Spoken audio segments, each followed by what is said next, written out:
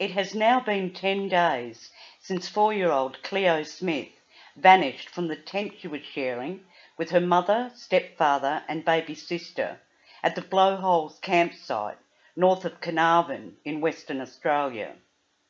The Premier of Western Australia, Mark McGowan, announced a $1 million reward for information that leads to finding Cleo or the person or persons who may have abducted her. In recent updates, police have revealed that audio of Cleo's voice was recorded on a single CCTV camera at a beach shack situated just 20 metres from where she was staying. The recording was from the day before she vanished and ends speculation over whether or not Cleo was actually at the campsite. Detective Superintendent Rod Wilde said it was captured just after the family arrived. He said it's motion sensitive and it was by their vehicle. We've reviewed it and we believe it's Cleo's voice that can be heard. In a further disturbing update, police visited Cleo's home in Carnarvon for a forensic search of the front and rear of the house, following up on a theory that Cleo may have been watched in the days leading up to her disappearance. They said someone may even have visited the house on one, possibly two occasions, but detectives have since ruled out the theory. It has also been revealed that they are now searching for a driver and people who may have been in a vehicle that was seen leaving the campsite in the early hours of the Saturday morning that Cleo went missing. Cleo's mother last sighted her at 1.30am when Cleo asked for a drink of water. Superintendent Wilde said two people who were travelling together along the northwest coastal highway in the early hours of Saturday, October 16th, saw a car turn right off Blowholes Road between 3am and 3.30am. On Monday, forensic officers collected CCTV footage from a home on the northwest coastal highway.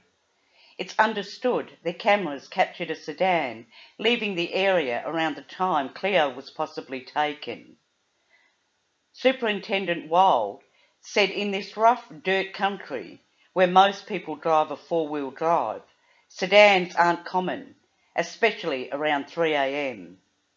It is also believed that police have collected security video from buildings on the highway where a mystery vehicle was spotted during the hours it suspected Cleo was abducted.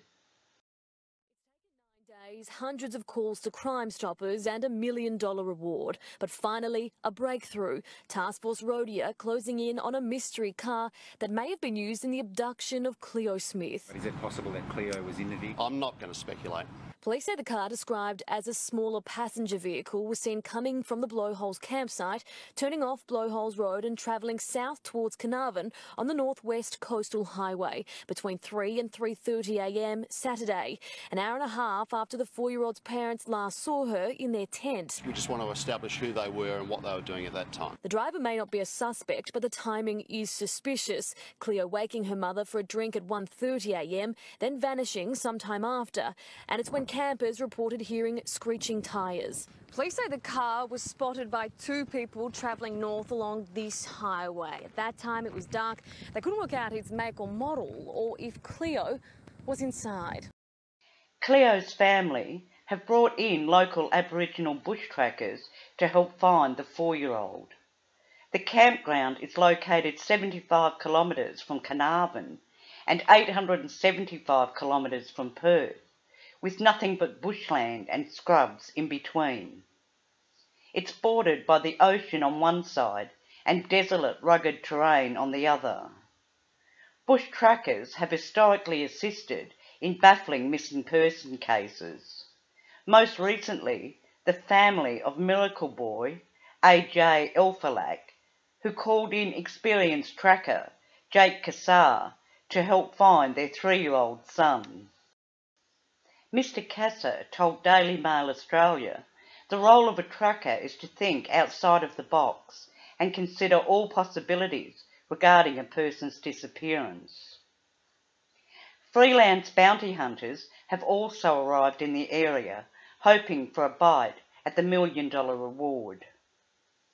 Asked if bounty hunters were a help or a hindrance to the investigation, Deputy Police Commissioner Col Blanch said all help was welcome.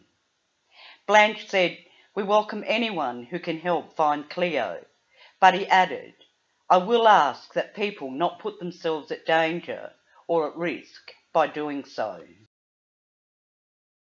News understands those looking to claim the reward were searching an area outside of Carnarvon today.